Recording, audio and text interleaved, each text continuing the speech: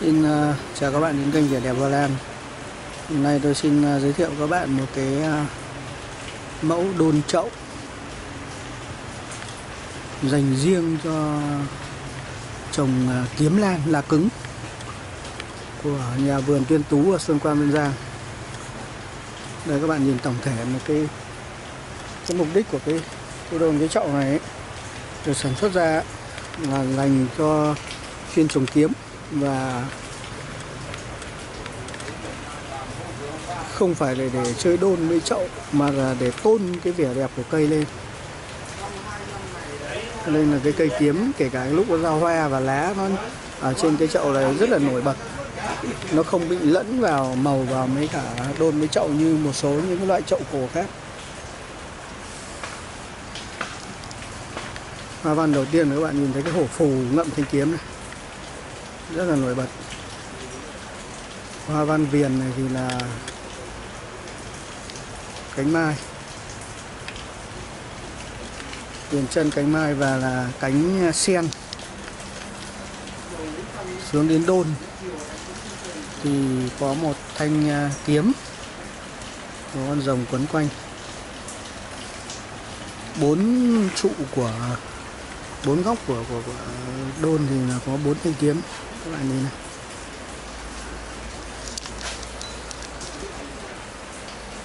Tức là con rồng này nó sẽ là ba mặt của đôn là ba thanh kiếm nhưng phải bốn thanh kiếm các bạn. Ba thanh kiếm của ba góc. À, mỗi một cái cái cái cái, cái phù yêu của một mặt này là một con rồng. Đắp nổi nhé các bạn nhé chân là hình hoa sen, được cách điệu nhiều lớp và cánh hoa mai. Cái sản phẩm này là thuộc bản quyền của nhà vườn Tuyên Tú, Văn Giang, Hưng Yên và đã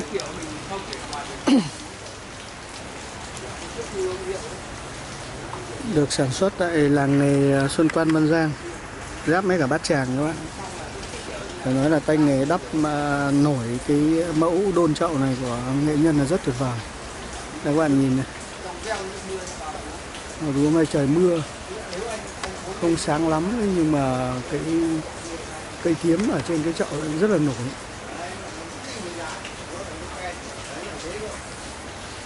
Đặc biệt là cái chậu này nếu như các bạn mà cây từ ở giữa cái nhà mà nhà gian cổ ấy, ở hai bên ấy, thì rất là tuyệt vời. Như các bạn nhìn.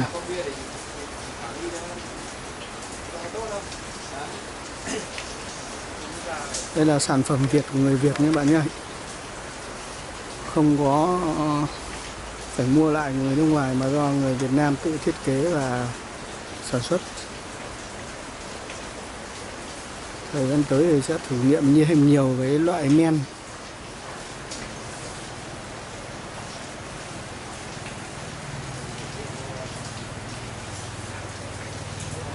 Chi tiết rất sắc sảo.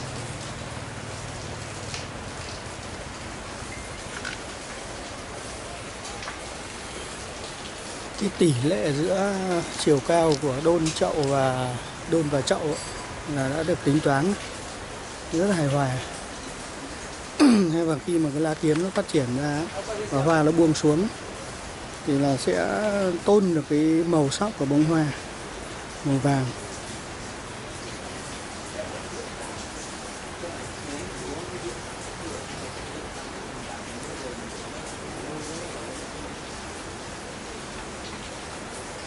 Rồi, xin cảm ơn các bạn à, vì xem video. Các bạn muốn à, tham quan vườn thì mời đến à, nhà vườn Tuyên Tú ở sơn Quan Văn Giang.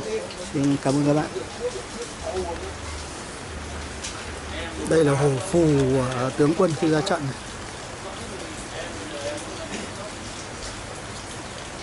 các bạn nhớ ờ, đăng ký kênh, chia sẻ video giúp mình. Cảm ơn. Rất nhiều.